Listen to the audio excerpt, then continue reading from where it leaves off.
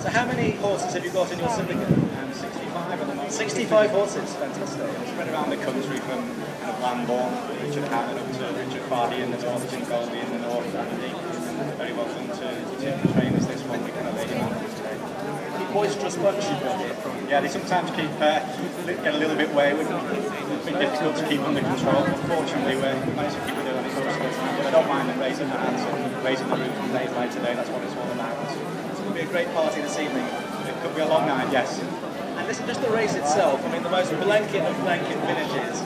Were were you at all worried that something might have just, just touched you up at the end? Yeah, he, he, he has a little bit of a bridesmaid, Captain Dunne. He's, he's probably bred for four furlongs. If there were four furlongs races, then he knows he's going to probably be champions. It's that fifth furlong. the room down, So I did feel he was going to get heavy there, but I think David has just saved a little bit of his sleeve for the, the final four furlong, and he, he's stuck on that there.